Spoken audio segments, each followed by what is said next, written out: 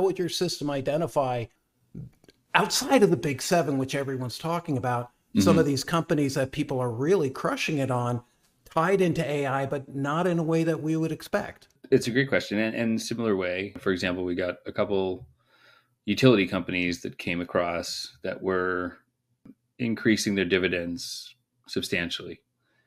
And it, it caused us to take a look at one of them, which is a Portland based utility company. I think the ticker is POR. We're like, why is this utility company doing so well when utilities are not supposed to be doing well in a high interest rate environment?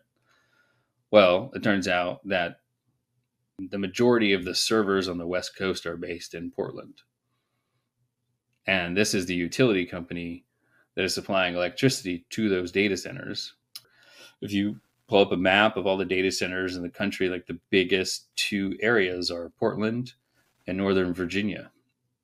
Right. And so the utility companies that supply those are Portland Utilities and then Dominion Energy on the on the Virginia side powers all the government servers and all the government contractors.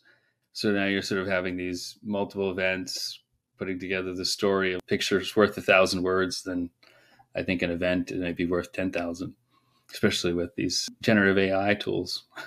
I'm fascinated, but it has mm-hmm. nothing to do with tech. It has to do with infrastructure.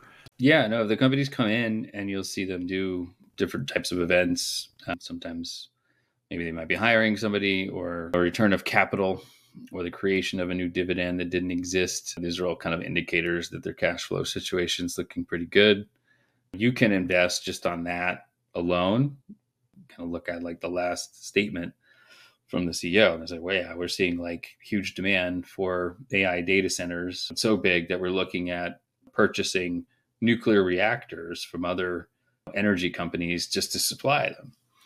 I think it's Constellation that's a big one in the, in the nuclear space. So yeah, those are those are pretty big signals.